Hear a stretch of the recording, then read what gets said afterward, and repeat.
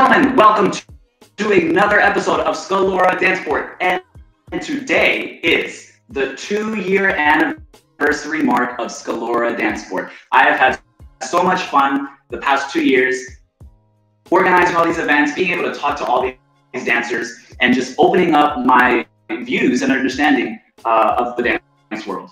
So, today, for you guys, my present to you is I have the one and only legend. Okay, he is amateur Italian national ballroom champion, amateur Italian national 10 dance champion.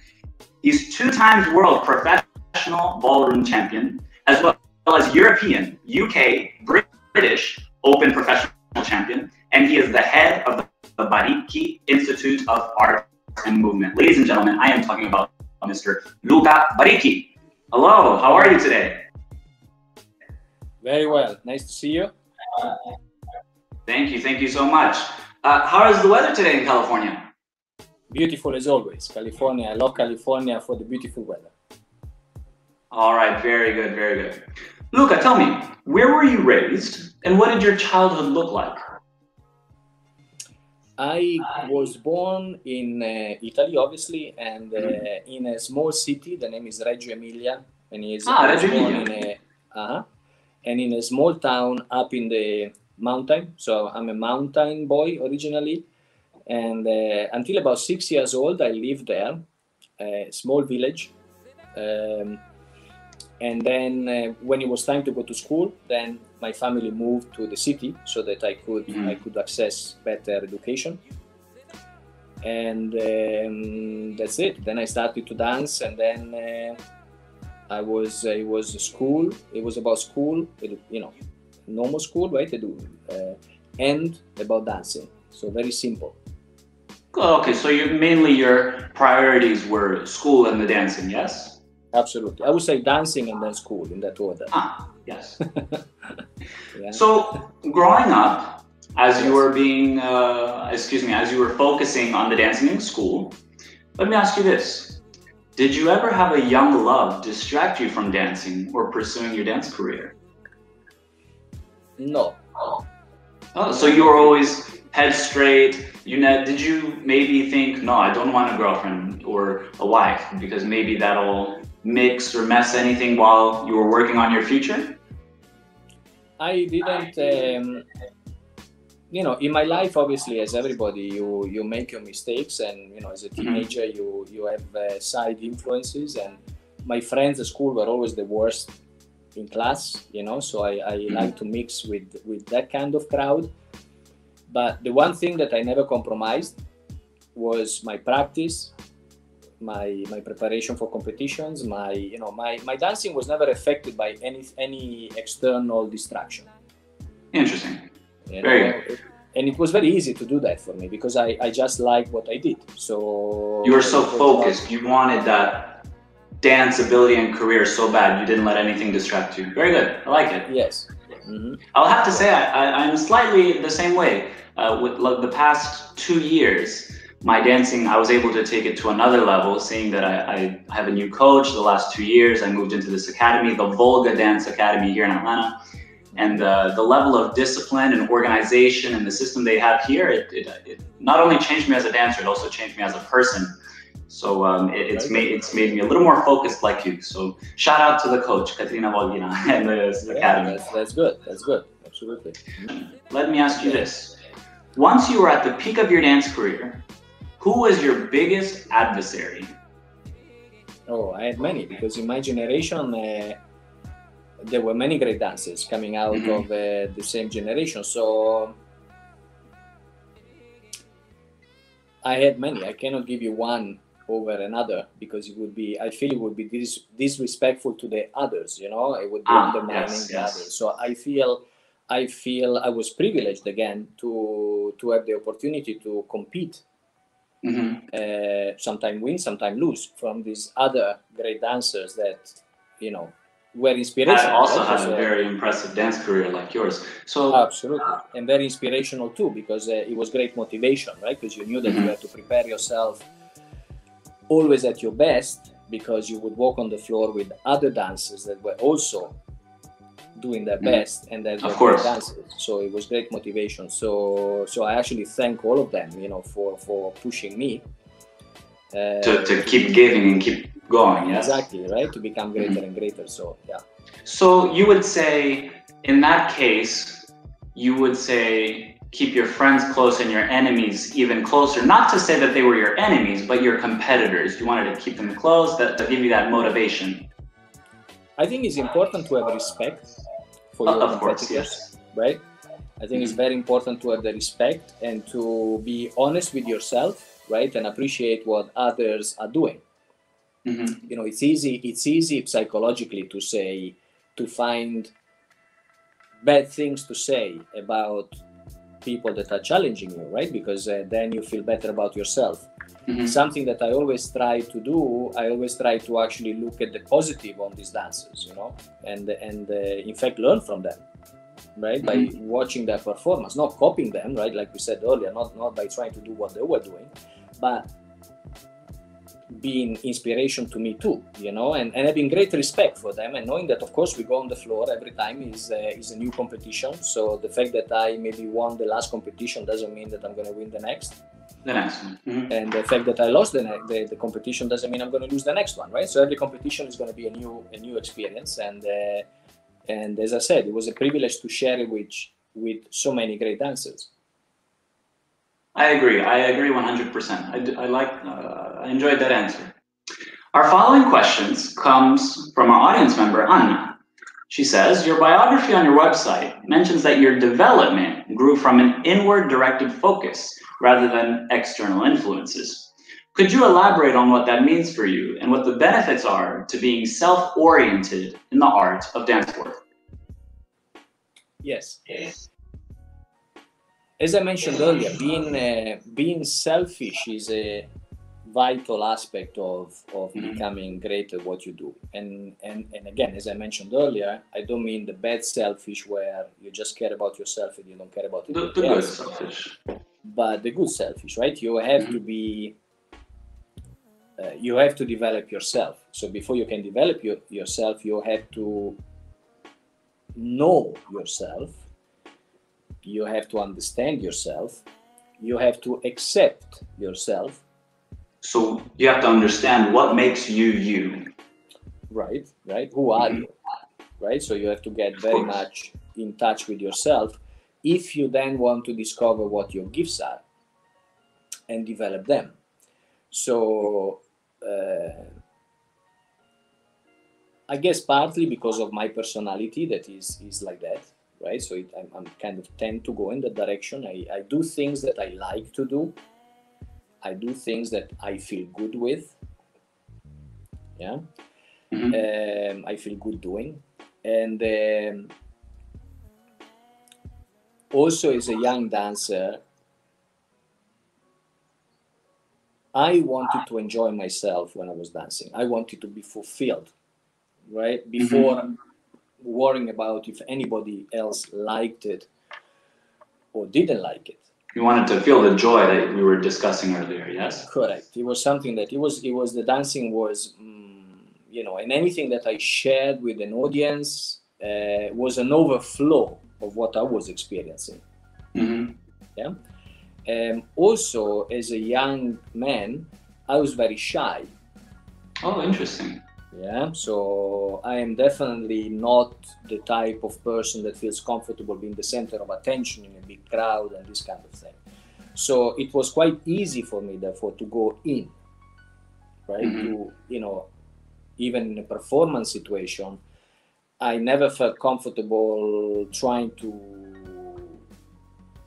show something that I was not experiencing, right? To show off, yes. right, because I always felt that then is a lie.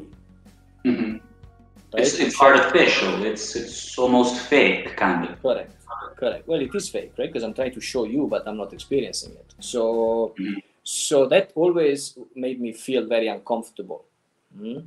So mm-hmm. I realized that the only way I could become a great performer was by going in and develop my own sense and my own um, and find my own fulfillment, find, find the way my body wanted to move, expressing what I wanted to express. And I had a belief, and again, and this is where the establishment supported this belief of mine, that if what I was expressing was true to me, so it was therefore it was not a lie, it was not pretending, but it was real, mm-hmm. right? I was full, really fully experiencing that. People would accept it and people would love it. Because it looked real, it looked authentic. Because it was real, correct, mm-hmm. right? Because it was real, right? Because I, I, I truly experienced it. Mm-hmm. Of course. Right? So it wasn't it wasn't something I tried to pretend to experience. It was a it was a true experience. And when when that happens, that overflow of emotion and expression is very powerful, right? And mm-hmm. people feel that. People feel that they feel touched by it because it's real. Right, right. They feel like a, like a movie, almost like a really good movie, like an actor. There you go. So, would you agree with the sentence that dancers partially have to be actors? absolutely but they have to be great actors right mm-hmm. not not not soap opera actors right which are pretending to to feel something or to express something right but it, it is exactly the same i mean we are expressing um, we are creating a vision to a sound mm-hmm. right as a yes. dancer we are creating a vision to a sound so we are we are using our body to express right we're using our body energy space uh, to express something. And like a great actor, uh, the great actor experiences that as a true emotion, right, while he's mm-hmm. acting it, right? That's what makes a great actor. That's why when we look at an actor, we, we maybe can cry with the actor, or we can be very excited or very nervous, right, for the actor we know it's a movie, right? We know it's on mm-hmm. TV, right? It's not real, but we still emotionally touched and affected by it because they are truly experiencing that. Of course, yeah. Right? So by choice, right? So the same as a dancer, absolutely. The same Very interesting. This question uh, made me think of another question we have. So if you don't mind, we're going to quickly skip down to this question about emotions. As you were discussing, dancers have to produce emotions and feelings, as you were saying, to, to really show their authentic self. So let me ask you this. Yes. Adjudicators are not robots. Adjudicators are humans. Humans have emotions, and dancing is all about creating emotions. How does an adjudicator judge fairly?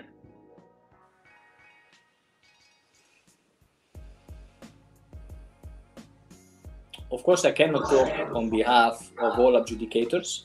Yes, mm-hmm. um, I can talk from my experience as an adjudicator, mm-hmm. which I have since removed because I'm no longer adjudicating.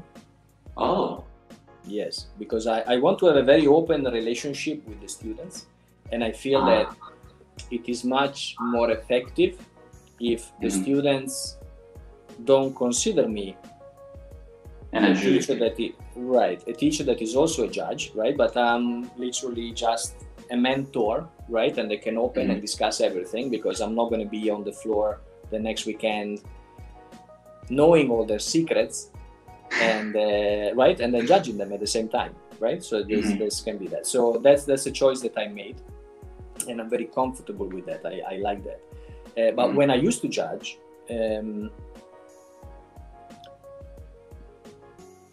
there can be very many different parameters that you can use, right, as, a, as an adjudicator. Um, WDSF has tried, right, to create criteria and, and structure it in a certain way and focusing on one mm-hmm. criteria rather than another uh, I understand what they are trying to do. I'm not sure that at this moment in time that's that's fully effective. Mm-hmm. Mm-hmm. I'm not saying that the old system is effective either, right? Uh, there's things that can be developed in that. Mm-hmm. But as a, at the personal level, as an adjudicator, it is about what I feel when I watch you move.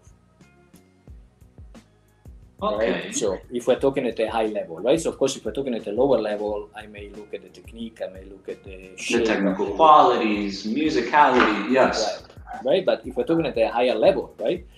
It's it's about what I feel when I when I experience what you're doing. Do I feel comfortable? Right? Do I feel part of what you're doing because you are fully experiencing it? Or do I feel nervous about it? I remember the first competition I, I judged, um, I finished the, the judging day and I had pain. I mean, my neck locked, yeah, because I had absorbed all the tension that these dancers had in their body while they were dancing, Oh wow. right? Um, so, so the final decision is what do I feel when I look at you dance, and so is your movement instinctive for you, right? Do you look fully coordinated in the movement, Mhm. or does your movement look taught? Right, right. Does it look very disciplined, overly disciplined, where you're like a machine, so you can deliver it five million times the same, right? Uh, or is it? Are you experiencing it in that precise moment? You know, uh, this for me is at the end is what adjudicators do. Now, after that, they may they will have to give some explanation to that. So then they may say, well. I didn't feel comfortable because of this and this and that reason right? But at the Mhm. end, at the core, is that they didn't feel comfortable watching you. Intriguing. Mm. Okay. So at the end, at the end of the day, it truly is all about emotions and and and understanding 100% what it is inside. Going back to this individual, excuse me, individual individuality. It's all about that at the end of the day. Yes. It is about it, it is about the delivery of an intention. And Okay. as an audience, I have to understand what is your intention, but not only understand it intellectually, I have to understand it emotionally too. Ah. hmm right? And as an adjudicator, same thing, right? I look at you now. Do I understand what is your intention? What are you delivering? What are you expressing? Do I understand it, or do you leave me with a lot of question marks? If you leave me Mhm. with question marks, I will start to pick. I will start to see things that are not right. hmm hmm I understand. Now I understand where you are going. Yes. hmm So it's the delivery of a message, right? And the delivery has to be clear. That's right. That's right. It does because, for example, you know, how can a first place winner be the first place winner without it being clear what they're doing? They truly have to understand every little step, every, every little feather step that they have. Right. Or maybe nobody's clear and then somebody will still have to win. And this happens also in competitions. You know, you will have nobody great on the floor, but you still have to uh, then You still have the winner. Yes. Yes. you still have the Mhm. winner, right? But the winner is just a little better than everybody else. Everybody else. Mhm. so discussing a little bit, going back to our how we teach. How do you balance two or more different pieces of information from two, of course, or more trusted coaches? Give me an example of what you mean by that. Uh, So what do I mean? Let's say, for example, uh, I am part of a team who says, who teaches this way, and they say this way. But then I also have an instructor who is on another team who says, you have to teach this way, you have to dance this way. Both of these instructors from both teams, you grew up with, you train with them, you trust them, but they're saying something different. mhm. How do you manage that? Well, I believe that um, you are your number one teacher. Okay, could you elaborate a little bit? Mhm. So at the end, you are in your body, right? So I am inside my own body. So I uh, have to move the way that I'm designed to move. Um, I have to express what I want to express. Mhm. So, and this for me was very clear from very young age, right? That I am my number one teacher. Now, doesn't mean I know everything, right? Don't misunderstand me, right? It's not a, it's not a, a statement of arrogance, right? But it's the fact that it is my body, it is my emotion, it is my mind. So I have to be at the end my best teacher, right? I have mm-hmm. to work things out. I can listen, right? I can get feedback, and I was privileged to have amazing teachers. But at the end, also as I mentioned earlier, the moments where they this teacher actually said to me, "Today you were great." In those moments, I actually did what I wanted to do, not what they wanted me to do. Mm-hmm. Okay.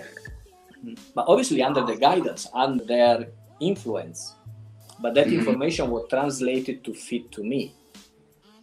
Okay, I, I think I understand. Yes. So right? if, if maybe so, just understand, if the teacher tells you you were great, but maybe in yourself you didn't feel great, maybe you feel like there was something you could have fixed or something you could have done better. Is it is this what you mean? No, because I mean there's always something that you can do better. What mm-hmm. I'm saying is when my teacher said, Today you were great,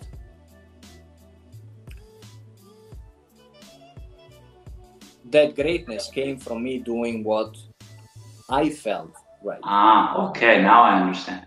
Yeah, not by doing exactly what they were teaching me. What they were teaching me was the guideline.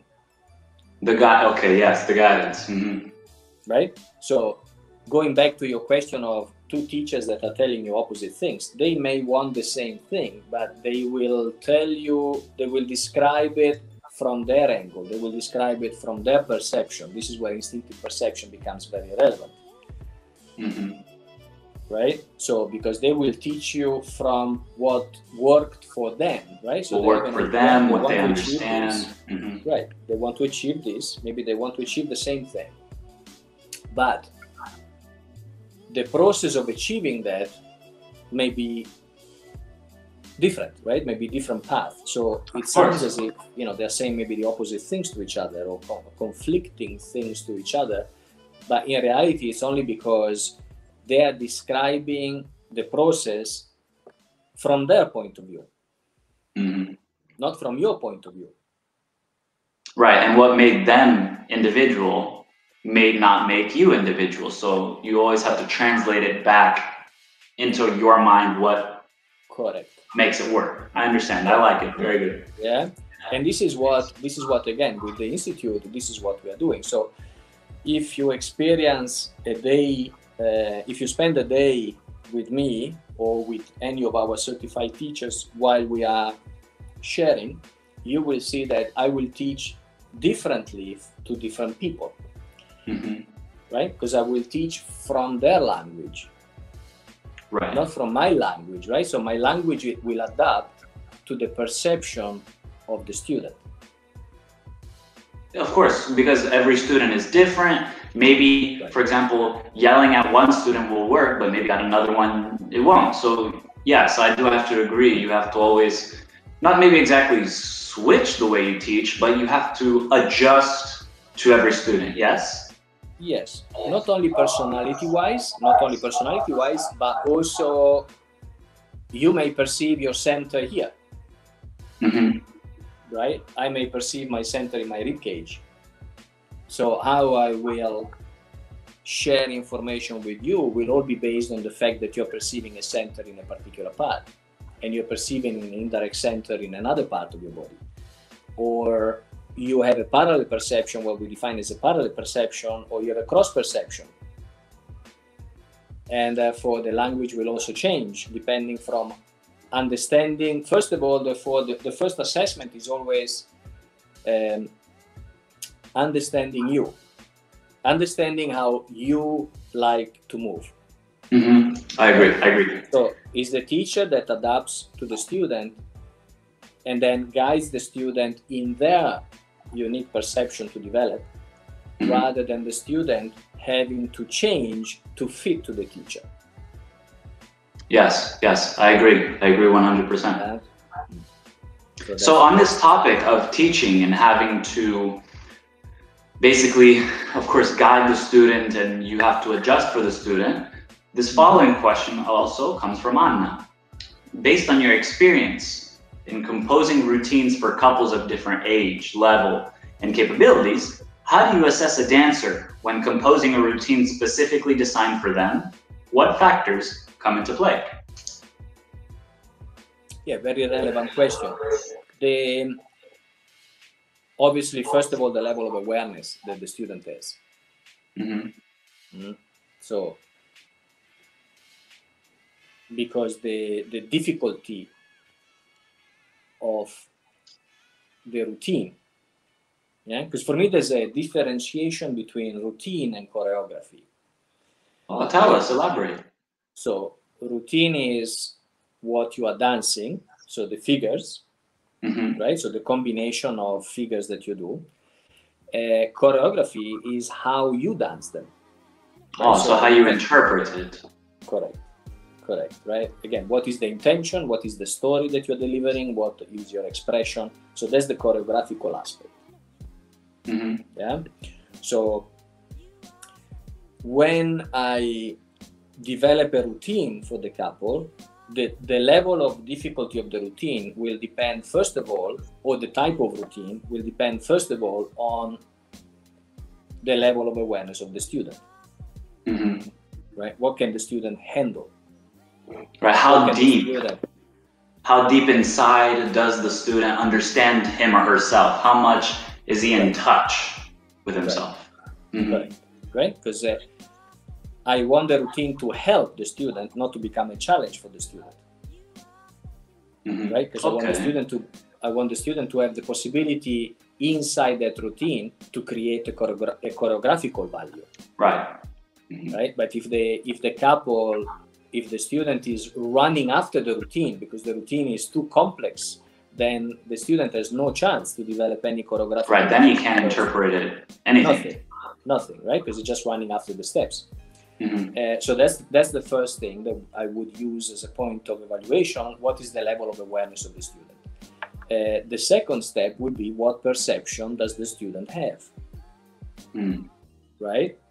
Is it parallel? Of course, I understand that when I say parallel, cross, posterior, anterior, it makes no sense at the moment, right? Because there's no understanding of the method. But Right. um, yeah, we we have dancers that are what we define as parallel dancers, and they have certain characteristics. We have dancers that are cross perception dancers; they have different characteristics. Um, anterior perception or posterior perception or interior perception or exterior perception there's so many aspects that have to be evaluated on the person first of all Mhm. on the individuals, right? Because it's two people dancing together. So you Of have to understand the perception of one person, the perception of the other person, and then see how the fusion of the two How to put it together. Mhm. Right. And therefore, what is best for them? Which figures, right? Which combination of routine fits to this particular combination of dancing? Mhm. Agreed. Agreed. yeah uh, because again i don't want to make the routine a negative challenge for the dancer right so Mhm. if, if the dancer is as cross perception and the routine is developed for a parallel perception this dancer will feel very uncomfortable delivering that yeah i'm sure that in your experience alessandro or for anybody that is listening to to our conversation you know there are figures right that you feel comfortable with right you, are, Mhm. you are delivering certain movements and you feel good with that and then you do other movements other figures other actions that you feel very uncomfortable with. Of course. and that is your body telling you that i i don't like this kind of movement. Right? Mm-hmm. This is where also injuries can come. This is where often Right. injuries do come because intellectually we are pushing ourselves to do things that our body is not designed to do somebody else maybe is designed to do that but maybe my body is not designed to do that and as a Mhm. result because i'm forcing my body to do movements that are not mine i will get injuries Right. yeah so so yeah so the routine itself the design of the routine uh, requires a, a previous understanding of awareness of the level of awareness of each student and an understanding of their own instinctive perception so that then the routine can be created to help them create an Mhm. expression, To their benefit. right, and not work against them. Right, right. Very nice. Very nice. Now, this following question comes from a dancer in New York, my friend Kairat.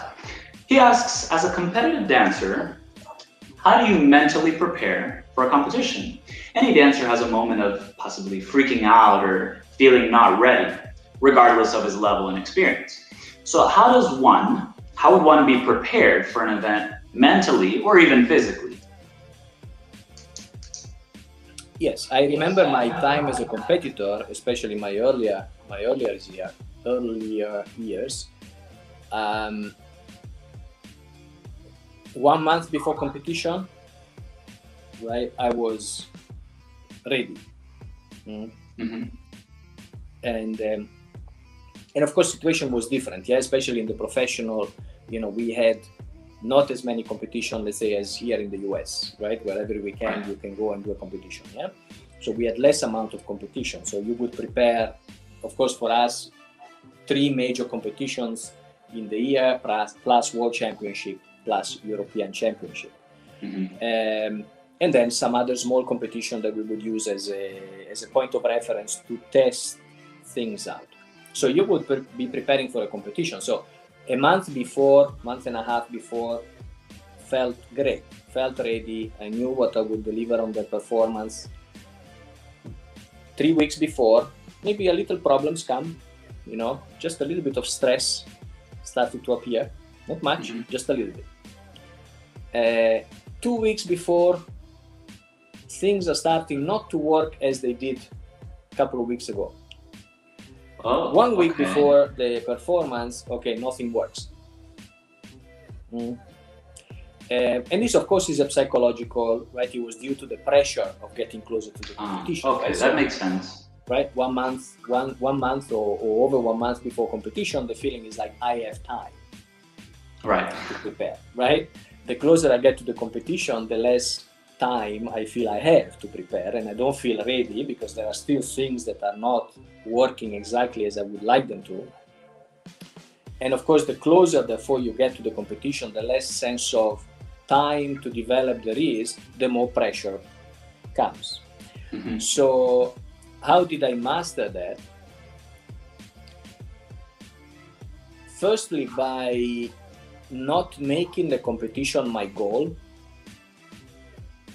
right? Really? But yeah, but allowing the competition to just be a day through my development, right? So I look a little bit more on the long term. So rather than setting the goal that okay, I have to be great in this day in this competition, right?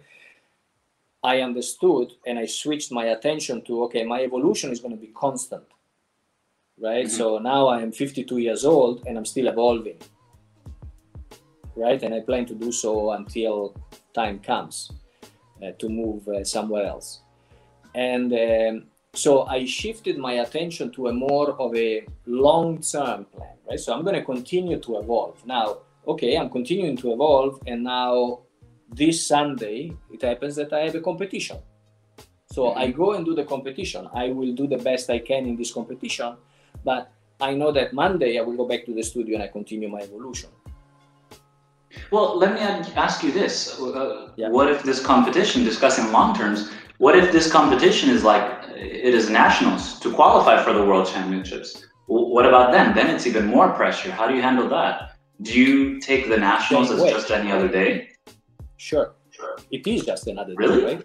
It is just another day. I mean, if you're focused every, every day in your evolution, hmm right? Now, obviously, if I don't, if I spend most, most of my time at the beach, right? And then uh, I say, well, okay, now I have a competition, so I better do something about it, right? Is one thing. But if I am daily working on my evolution, when I get to the Mhm. competition, it just is it's another day, right? so I don't make it important right? Because I'm I'm constantly evolving in any case, right? So and I'm never ready. That's another thing that is very important. You are never ready. So don't try to be ready. Work towards it. Work towards it, but don't aim to feel ready because you will never you never will because there's because you're in evolution there is always going to be something else that you're working on that is that you can always yet, fix or improve right that is not yet happening right because you're working on it at the moment so accepting that uh, then you enjoy a lot more the journey mm-hmm. right rather than try to put your attention too much on the destination. Okay. That right? I agree. I agree. I think that to our listeners and viewers maybe that'll make them feel slightly excuse me slightly better uh, as within the next few months as these world championships happen. I hope uh, a lot of our viewers and listeners listen to what you're saying. It's very it's very mind opening and, and, a little bit um, how do you say stress relief or relief of stress they're relieved of their stress right right another thing that also was very important for me regarding this alessandro was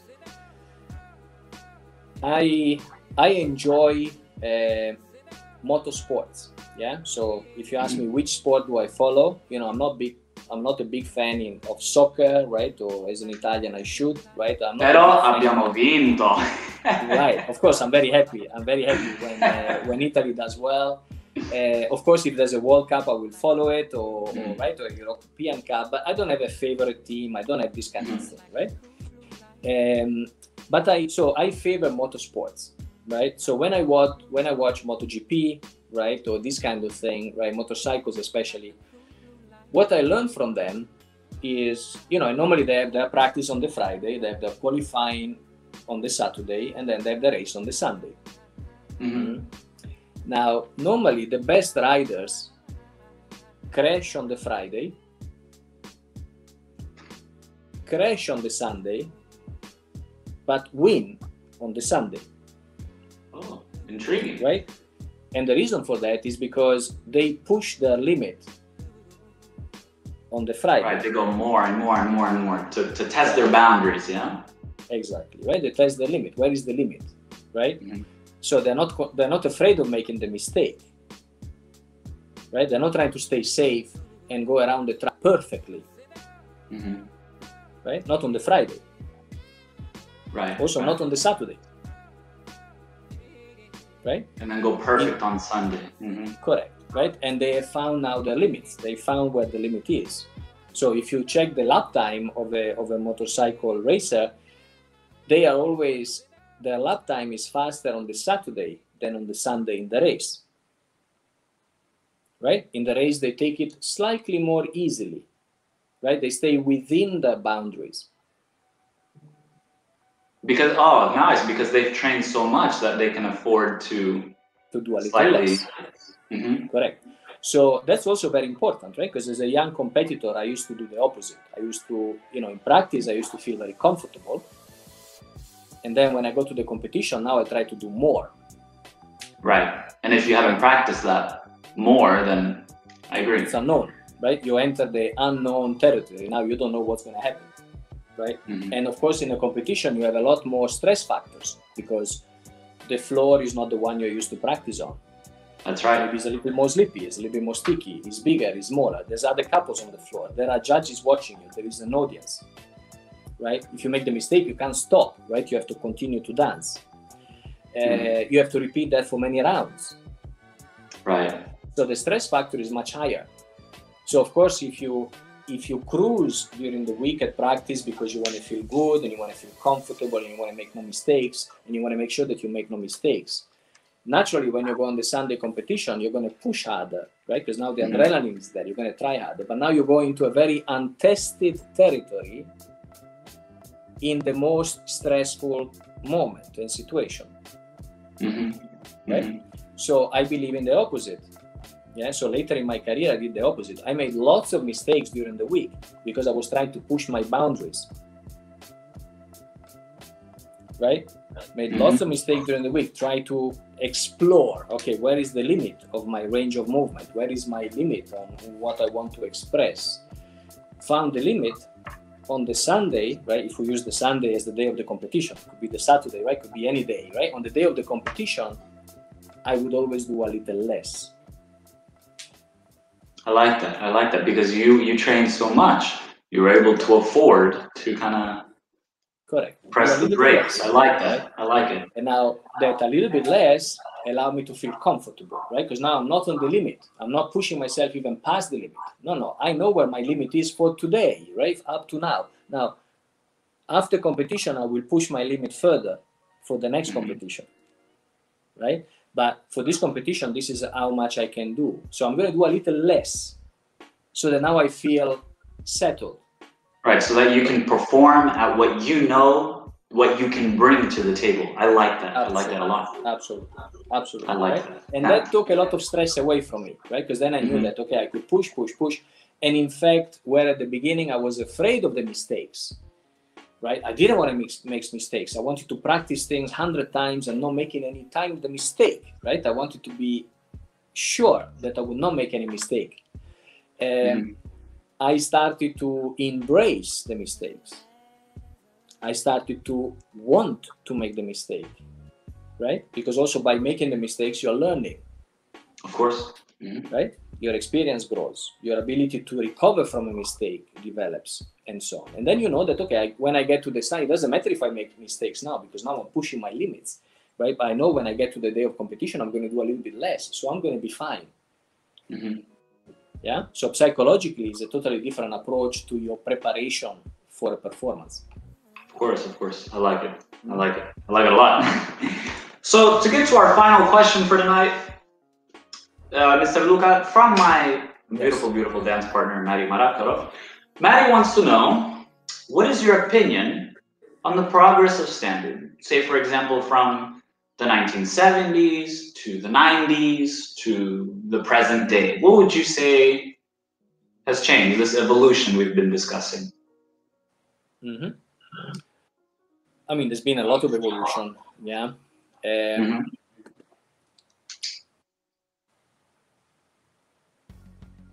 The let's start from this. Uh, I'm going to try and give a good, a clear answer. The mm-hmm let's analyze one moment what is couple dancing. Yeah, no st- no matter what style, ballroom, Latin, any style, right? But what is mm-hmm. couple dancing? It is about two human beings, right, interacting with each other, expressing music. Mm-hmm. Right, so we can define any style of two people dancing together as that, right? That's the core value. Sure, of course. Right? Now, in the 1970s or 60s, um, obviously they, there was no pressure in the dances, right, to make these big shapes and having these big forms, right? Mm-hmm. So the dancing was a lot more intimate. And uh, right when we watch videos of the old guys uh, dancing, right, it's beautiful right? It's elegant. Uh, you can see the interaction between the two. Right, it's very classy. Mm-hmm. Right, yeah, and there's a, there's, a, there's a depth of interaction, of the intimacy of musical expression that is beautiful to watch. As the generation developed, obviously, we always want to do more, right? Mm-hmm. As humans, we want to grow, right? So range became a little bigger, um, everything started to grow and grow. And I would say up to my generation, mm, there was a growth also in shape, right? In the usage of space, right? We needed to use more space. The reason for that was given by the desire to increase the range of movement. Mm-hmm. Right? So, because we want to use our bodies more, we cannot be so close to each other, right? If we're so intimate with each other, the movement has to be a lot more micro movements, right? When we want to extend and expand and use our possibilities of our body more, we also require more space. And also mm-hmm. more space from each other, right? So that's, that's why right. the distance, right? That's why the distance became greater between the man and the woman, and therefore the volume became bigger. The arm interaction with each other changed yeah so everything evolved with that but that change of volume had a very clear function mm-hmm. right it was and the function of it was to increase the range of movement and therefore increase the level of expression Now, the generation that came later obviously didn't see the older boys, right? Immediately saw the bigger shape, the bigger volume, and copied that, hmm right? So then volume is volume just for the sake of volume. Yes, there's it's just volume. There's no point, Volume. no story behind it. no story, right? No function to it, right? No reason for it. It's just I'm big because I have to be big, right? Because if I Mhm. if I have the biggest frame, I'm going to win the competition. If I have the biggest right. space, I'm going to win the competition. Because right? is okay like this? Is it okay? Exactly, exactly, right? So so then things started to go wrong, right? Because then that's why I'm saying, right, through all this interview, right? I'm all about innovation, right? I'm I'm you know we are studying biomechanics, we are studying instinctive perception, we're studying so many things, right? To con- continue to push the boundaries of the of the limits, right, of human mm-hmm. being in movement. But at the same time, we must not lose the essence of what we are doing, right? And the essence of what we are doing mm-hmm. is two human beings interacting and expressing music. Now, the moment we use we lose the interaction, right? Because everybody's just trying to have a big shape, but they they're not even trying to dance together or feel each other, right? Right. Look, it looks like two people, but not dancing as one. Mhm. Correct, right? So now we're missing the essence of it, right? Because now there's no interaction. When I then see also these shapes that, you know, beautiful. I mean, young people can do this very well, right? Because they, they're very young, able body. they can hold shapes for a long time. And they are beautiful shapes. But are they expressing any music? Are they expressing any emotion? And the answer is no. Mhm. Mm. So that would be for me what what has evolved and what has gone uh, wrong in the Right. evolution is that uh, is the fact that things you know change has happened, not evolution, Mhm. Right? So change Right. just for the sake of change, right? Of doing something different, of being more interesting. And as I said, I'm not like a, a traditionalist, right? I'm Mhm. all about innovation. But at the same time, I understand that innovation and evolution must come. In order for me to evolve something, I, ant- I have to understand that something from the original core. Mhm. Then I can evolve it. Otherwise, the danger is just to change it. Right. Mm. So, um, and I feel that that is what has this is what has happened. You know, in uh, again, we're looking at WDC and WDSF. We're looking at WDC more on a traditional way, right? And but tradition has become not moving, holding the Mhm. posture. You know, looking as if nothing is changing while they are trying to move around the room. So very boring and no expression Mhm. together because again together because maybe centered if we want to define that as center but not not sharing anything together on the other hand then we have wdsf full of expression right trying to maximize everything but with this search for big volume and big spaces without reason Without reason. Mhm. right? Without function, just for the sake of making a big shape. Um, not to express something, not to share something in the partnership. Mhm. So in the institute, what we are working on is we started with this, Alessandro, right? Balance, Right. right? Mhm. So pushing boundaries, pushing the boundaries, getting the dancers to maximize their physical ability and continue to do training. We have all kinds of designed exercises to develop the awareness, to develop the range of movement in the bodies, and so on. Uh, at the same time, organize information in a way that it becomes very clear, right? What is biomechanical? So, what is about the body? What is about the physicality of the movement? What is about space? Mhm. right? What is about spatial awareness? How can we use spatial awareness to develop our movement, to interact with each other? Um, and how, out of that, can we then create a creativity and expression that recognizes so that as a couple, we can become a visual to a sound, Mhm. not To just music, because of it's on course. time. To represent the music authentically. Right. So um, I don't know if I answered the question, but uh, I think it was very nice. I think Maddy, my, my partner, will really appreciate it.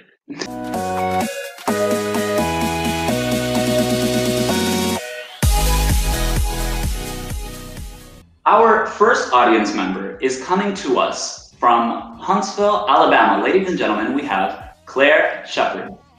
Hi, Luca. How are you? Hi, Claire. Nice to meet you. Nice to meet you too. Hi, Alessandra. Thank you for having me. Of course. So, Luca, I would really love to ask you um, what is the best piece of advice you feel you've received from a coach? When you were a dancer, Yes. what was the best piece of advice that your coach gave you? Oh, I see. Um, possibly to stay very clear with my mind and with the information that I would receive. Um, this came to me very, uh, very early in my career, and I believe that this advice actually helped me to shape my career the way uh, it then developed. Um, and this particular teacher, his name was actually Hans Laxholm, and uh, he said to me, "It's very important. You know, you're a talented young dancer, but it's very important that you keep your mind very clear, and that you you have very clear direction and information of how you want to develop, so that you don't waste time. You know, try to find answers uh, in every possible direction. So I would say that's the best advice that I received. hmm So, really just stay clear and, you know, you're dancing and there's the goals you want to achieve and make sure you maintain that. Yes, not not only in the um, you know not getting distracted by life itself, right, and stay focused on the on the goal, but also in uh, choosing uh, very selected, let's say, teachers, right, to work with, so that there would not be too much information and too much information that sometimes sound uh, opposite, right, and therefore can confuse the evolution. So, in that sense, particularly, you know, keeping the educational part of, of the of the growth very simple and clear. All right. Thank you so much. You're welcome. Very nice. Thank you so much, Claire. All right. Now, Mr. Luca, coming to us next from the same country that you represented, we have Miss Elisa Randazzo. Hi, Luca. Hi, Alessandro. Thank you for, for having me. Hi, Um, and Luca, thank you for being here. um, I guess mine is a timely question, um, if you can see it this way. But uh, given the Olympics are on at the moment, uh, for many years, um a lot of people have been uh, striving to see dance sport uh, as part of the Olympics. Um, so I was just wondering what your thoughts are on that, and also if you were for it, how would you see this happening? How would you go about doing it? Yeah, that's a good question. Um, I am generally open to evolution, so I believe in you know respecting tradition, right, and understanding where we are coming from, so that evolution can go in the right direction and not become just a change, right, for the sake of change. So I'm, I'm always very open to evolution. Of course, having um, dancing involved in the Olympics could be obviously very powerful, right, and it could be a, a big step forward for our environment. Um, and this discussion of Olympics, you know, uh, I remember it even when I was competing, and this is a long time ago, right? So it's over 20 years or 30 years that uh, there is this discussion of are we ever going to go to the Olympics. Do I would I be in favor? Uh, yes, because of evolution, right? It would have to be done consciously, right? So not again not to lose the essence of what dancing is. Um, how would I go about it? In in all honesty, I have never put any attention to that, so I would not be able to give you any clear idea now of what I would do to get it into the Olympics. But Fair am enough. I in favor? I'm generally in favor of evolution. I think that's the best answer I can give you. So, if evolution brings Olympics uh, as part of it, why not? Brilliant. Thank you. Thanks, Yeah. Luca. You are very Very welcome. nice. Thank you, Elisa. Now, our next question uh, is uh, in the form of a video, Luca. From Huntsville, Alabama as well, we have Mr. Joseph Galloway. Hi, my name is Joseph Galloway, and I would like to know what is your favorite country you have traveled to and why? So the question is, what is your favorite country that you have traveled to and why? The, my favorite country that I traveled to and why? Um, I would say the United States uh, is the Nice, favorite very country, and California being my favorite state. So I, I you know, in my in my uh, long life, I had the opportunity to travel to many different countries and actually live in many countries as well. Mhm. And um, but I am most happy when I'm here in California. So I would say definitely California, US is my favorite place. And Very nice. Now, where in California are, are you? I'm in uh, Irvine. Nice, very nice. Yeah. I, I have South a I have a cousin in San Jose. Oh, so we are nearly neighbors. there you go. so our following question as well comes in a video form. Uh, this one comes from my friend Alexandru Ardelean from Atlanta, Georgia. Mhm. Okay. In the past couple of years, uh, do you think ballroom dancing has become too athletic and in the process it lost its uh, artistry, or do you think there's still room for improvement in regards to athletics and, of course, artistry? Okay. Can you can you just repeat the question, um Alessandro, because I couldn't hear it very well. Yes. So his question is Do you feel today with the modern dancing, do you feel that possibly the ballroom has lost its touch? Has it become too athletic? Uh, he wants to, uh, he would like a, an answer to is it getting too much athletic? Is there such a thing as too much? I think it's a good question. The question is, um, it's a very interesting que- question and probably requires a very long answer. Uh, I'll, try. I'll try to keep it short for today, though. But um, I think it's always about balance, right? Mhm. And, and and again, it's about respecting the history.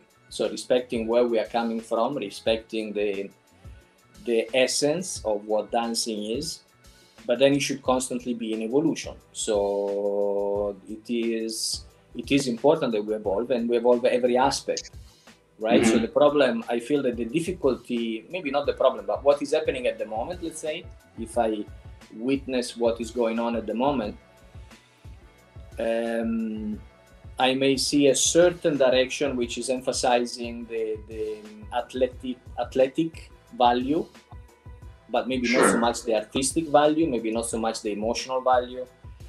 And then I see another direction which is more about okay, try to be more emotional, right? But then losing artistry, losing the, the Mhm. dynamics Yes, of, of it. So uh, what I believe is the right direction is to combine the two. So there's nothing wrong with increasing the athletic abilities, right? Because in theory, better athletic abilities can allow also for a better artistic expression. So Of course, yes. I don't see the two as necessarily being against each other. Um, but at the moment, I feel this is what is happening. I feel yeah, there are two two very powerful influencing influences, and one is, as I said, more athletic, but maybe compromising the emotional aspect of things, and the other one trying to be emotional, but in the danger of becoming boring out of it and, and losing Yes. the athletic and the evolution that is actually necessary. So combining the two, I think, uh, would be the, the best solution. So you would uh, agree to uh, have a good balance, yes? I believe life is about balance, Okay, I like that. I love that quote. Life is right? truly all about balance. Right. So you know, we we dance with the body, so the body should be fit, should be ready, should be trained. Um, we but we should also dance with our heart. We should also Mhm. yeah, we should be complete. We should be total in our performance. Therefore, every aspect of, of the human being should be involved and not not um, choosing just Mhm, one of or the course. other. Good, good. So overall, having a good balance. I do love that quote. I'm gonna have to take it one day. I do love it. You, you're welcome to borrow it. Thank you so much. Our next follower comes to us from La Sicilia. Now, followers and listeners, don't worry. While this question will be in Italian, I will put subtitles for you. Welcoming from La Sicilia, we have la signora Luciana Todaro. Buonasera, salve. Buonasera Salve Luciano, Luca. Salve, piacere di conoscerla. piacere mio. Grazie. E allora, la mia domanda per te è questa. Ehm, allora, volevo sapere se i tuoi genitori eh, ti hanno supportato eh, nella tua carriera di ballo e in quale modo, se sì.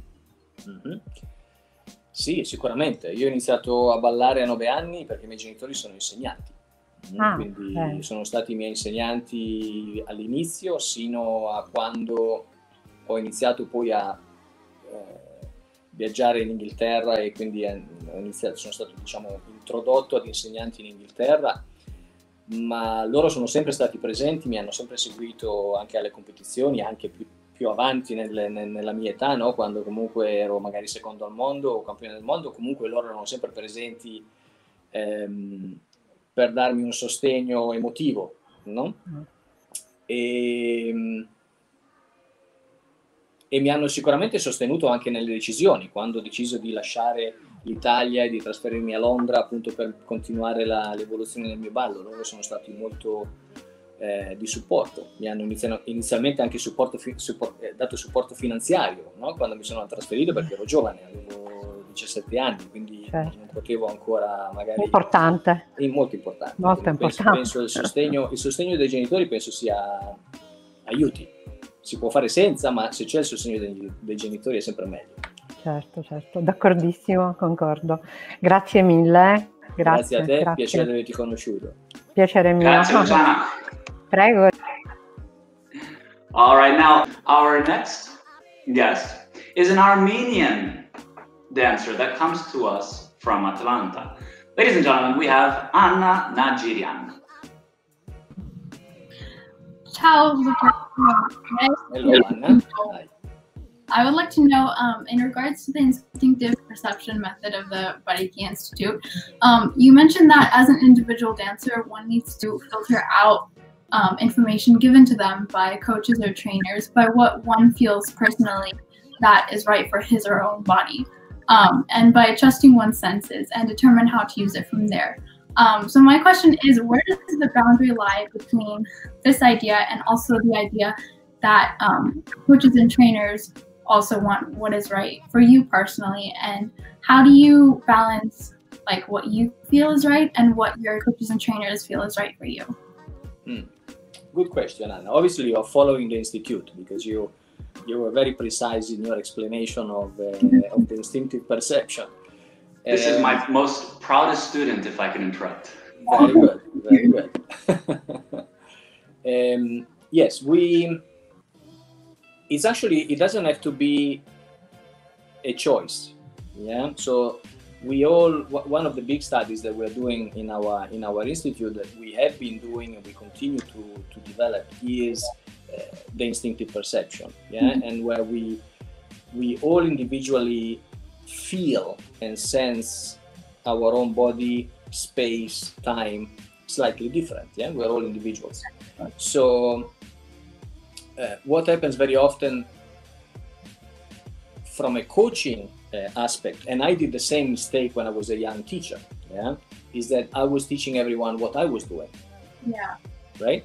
But they work for certain students. So certain students I consider talented because they could kind of understand what I was saying and they could feel it in their bodies.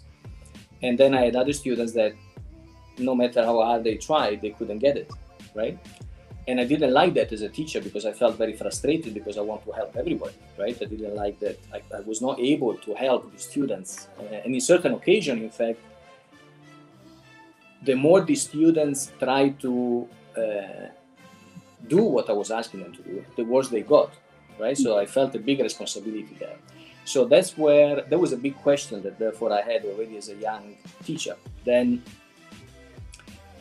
as I went further in my studies and developments, I became aware of the fact that obviously we are all individual in our personalities and so on, but we are also very individual in how we feel our bodies.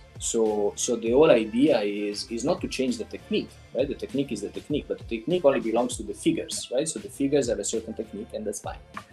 We should respect that.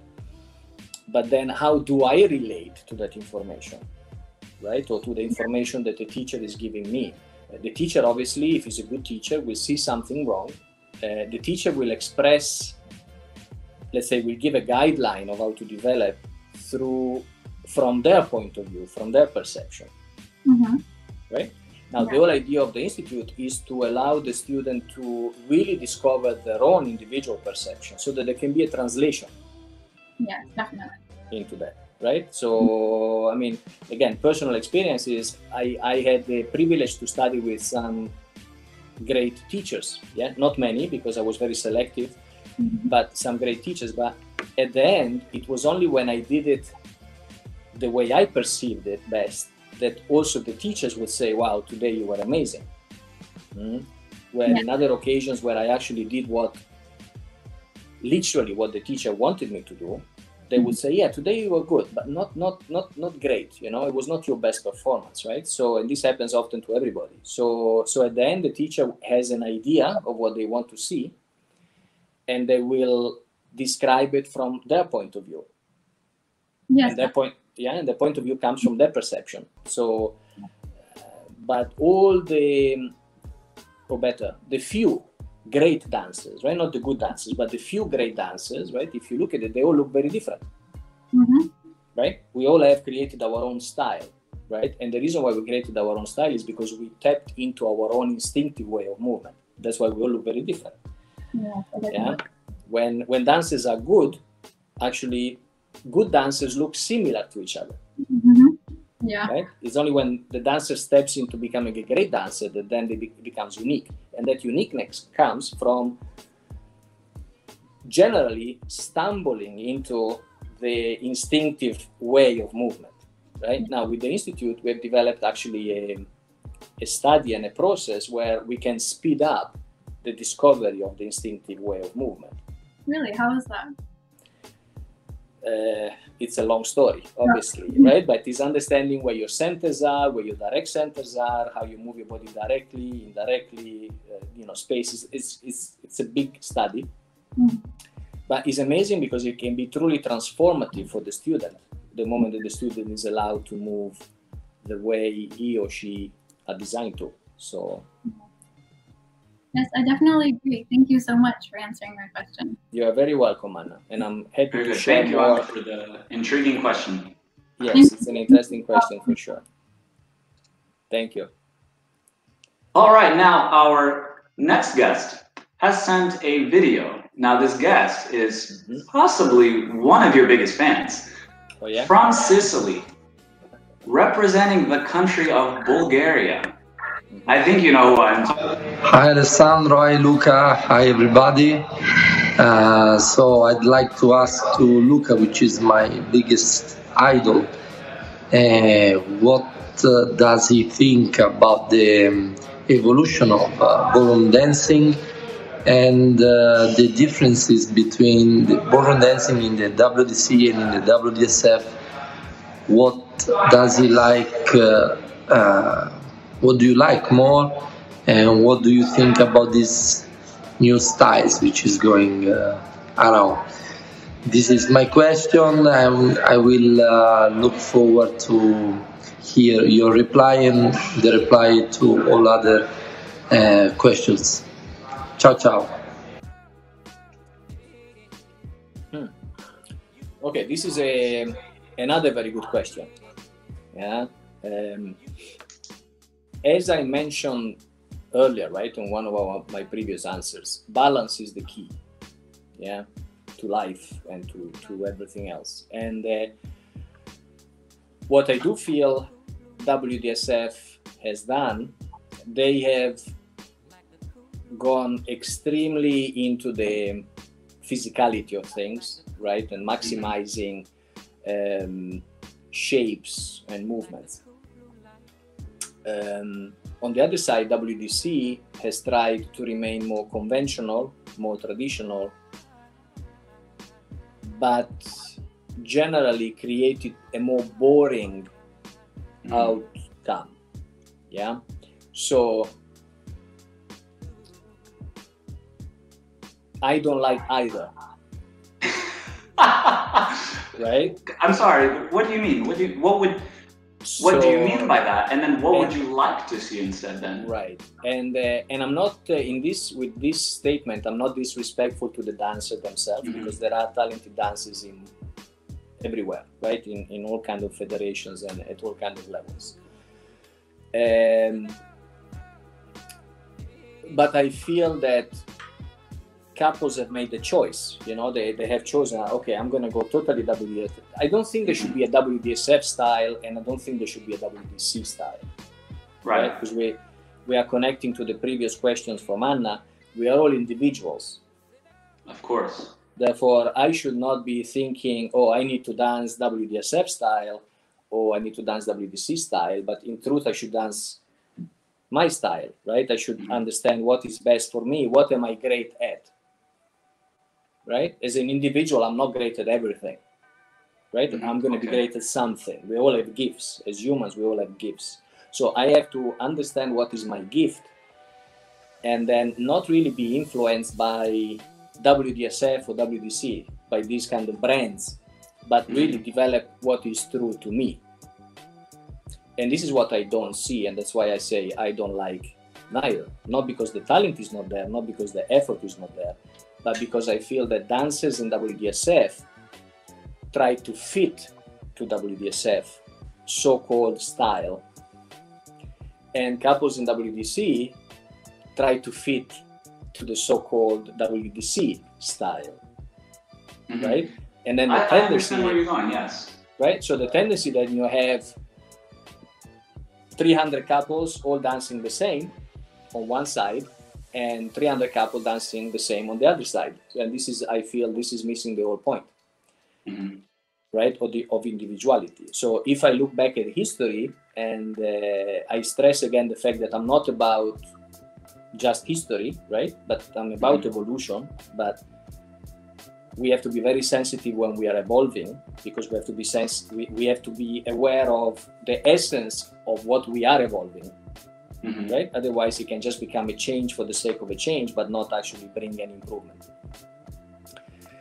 Um, so if i look back at earlier generations up to my generations and before there were a lot there was a lot more individuality Okay.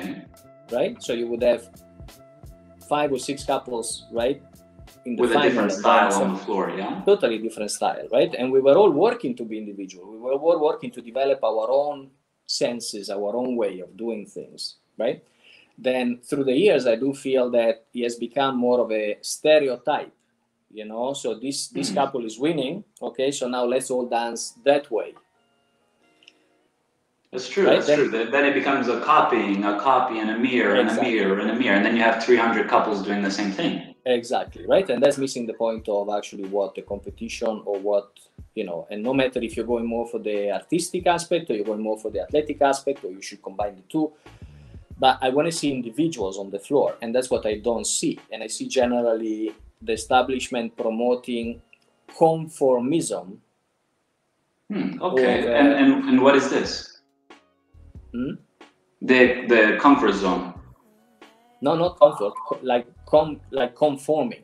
Ah, conforming. Excuse me. I must have had a glitch, but yes, it, it's Yeah, intriguing. so- I, right? So then you have the couple on WDSF, and I, you know, I teach all kind of different couples, right? I teach Mhm. students that are competing in WDSF. I teach students that compete in WDC. The mentality is the same. They try to do what the stab- what they think the establishment wants, Mhm. right? Now that means that the establishment is not promoting a message of be individual, Right. right? It means that the establishment is promoting a message of conform and you will be successful. Hmm. but I feel but I feel this is very limiting at a human level, right? Because the human human is has no no uh, I mean no boundaries, right? We can achieve anything. Course. so we we should as humans we should be allowed, supported, nurtured, promoted to develop our own individuality, Mhm. right? Well, let me ask you this, if I could. It's uh, you kind of triggered a question. Uh, with let's let's just say 300. Let's say 300 couples. They are in the WDSF system or WDC, whatever. Maybe do you feel that they're scared to be individual or to do something different or to do oh that's not normal maybe i shouldn't do that do you think they're scared like that i believe that they are concerned maybe they're not scared but there's definitely there's a there's a concern there's a degree mm-hmm. of fear in them right um, of course yes but but again i'm not um, i don't believe ca- this fear comes from them you know i don't i don't it's not about the couples right it's about the environment Ah, yes. Right? Mm-hmm. So the couple, obviously, young dancers, you know, I remember when I was a young dancer, right? I wanted to be successful. I wanted to become great and I wanted to be successful. So, but at that time, I believe I was privileged because I grow, although in England, right, which is very traditional in, in their approach, mm-hmm. but at that time, the message was become great and you will be successful. And great was defined as listening to your feeling listening to your to how you want to evolve it respecting the technique. But then what is special about you right? My teacher used right. to tell me my teacher used to tell me you are a genius. Now what can you do that nobody else can? Right? Now wow, those words were very powerful right? Those words were very powerful. And mm-hmm. it was definitely not about conforming but it was about creating, it was about developing, it was about discovering. Right, right, of course. You have to figure out what it is about you that is individual. Right. And the establishment at the time was promoting that. Mm-hmm. You know, so it's not that I did it because I'm special and I'm better than anybody else. No, I, I did it because I had a desire for it, but then I had the establishment that created that environment where not only me, you know, from my generation, there are many great dancers that came, and we all mm-hmm. came from that generation because of that environment. So at the moment, I feel that the message that the establishments are sending out are much more restrictive and much more controlling, and uh, and that's why I'm saying I don't like either, right? Because I don't feel they are truly what each dancer wants to do Oh, okay. Right, but it's not about what they. I see what you're saying. Right, so it's more about what they have to do. So if it's something that you want to do, right, I will respect it. But mm-hmm. if it's something that you do because you have to do it, then you will leave me with a big question mark when you're delivering it, because it's not really yours. Right. It's it's what was groomed into you. Very very intriguing. Right. All right. I like that. That was opened up a lot for me in my head. Now, uh, if I can, let's int- go ahead and bring in our final audience member. She is checking in with us from the star of Alabama. From Huntsville, Alabama, we have Miss Becky Hamrick. Hello, Becky. Hello, Alessandro. Hi, Becky. Ciao, Luca. Pleased to meet you. Um, I have to say that Salvo stole my question, sort of. he did. Um, but I actually wanted to ask about your view on the Latin as well. Is do you think the same of the Latin, WDSF versus WDC? Yes, at the ballroom. Yes, I think so. I think WDC at, at the in Latin, WDC had still has possibly a little bit more um, individuality allowed yeah. different from from the ballroom. The ballroom i feel the individuality has been kind of being removed. In latin i feel there's still some surviving. Uh, and yes I, I feel it over the overall you know all, all different styles you know and and again being exposed to many to many students many talented students many students with a lot of desire to be successful and to become great. But this concern of conforming, right, dominates the desire to express and to be individuals. And I feel that that's a, always a dangerous situation to be in. Yeah? Because yes. we, we end up creating a lot of clones rather than individual dancers. Okay. Well, you mentioned earlier that um, especially young dancers, you know, they're on, they're on the rise. They really want to succeed. They're probably more concerned. There is a great benefit to being a senior dancer. Absolutely. I think. Um, Absolutely. What we want to do is to dance the very best that we can as individuals Mhm. and to please the audience. You know, we're we're wanting to have people enjoy what we do. Um, if that brings good placements or you know traditional success, that's great. And if not, that's okay too. Right. So, is that maybe more of the approach that you used to have when you wanted to just bring the best that you could bring that you were talking about earlier? Yeah. You were encouraged in? hmm Yeah, I think uh, you know to become a great dancer, you have to be very selfish, right? You have to really get, and I mean good selfish. There's there's a bad selfish and there's a good selfish, right? The good selfish is I need to take care of me first before I can take care of others, right? Bad selfish is I don't care about anybody else. I just think about me, right? So I don't mean that selfish. I mean the good selfish, and uh, because at the end it was about my experience and I knew that if I was able to experience what I wanted to experience, then everybody watching would experience that with me, Yes. right? Um, so even before trying to please the audience, like you mentioned, right? I, I, I feel it's even more important is to please yourself, Yes.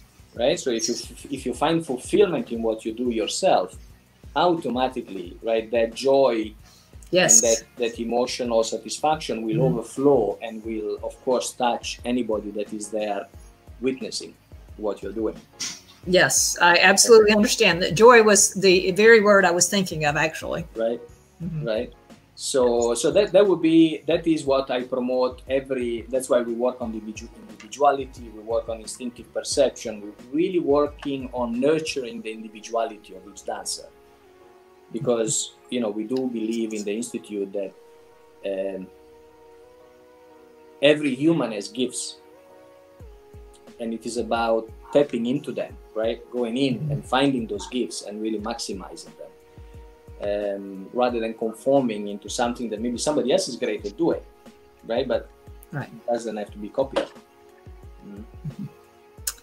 make sense Oh, absolutely. Yes. Thank you. very good you're very welcome becky thank you Awesome. Thank you so much, Becky. Thanks, Ollie.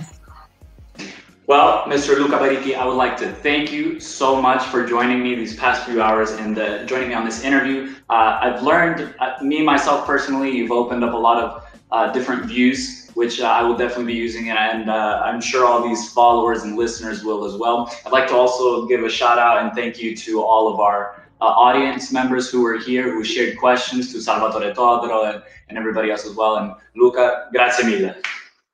You are very welcome, Alessandro. It's been a pleasure. And uh, I hope that listening to the conversation, you know, will inspire dancers to do more and to, to maximize their potentiality. Human potential, potentiality is huge. So I'm looking forward to see that. Thank you so much. All right. Thank you, Alessandro.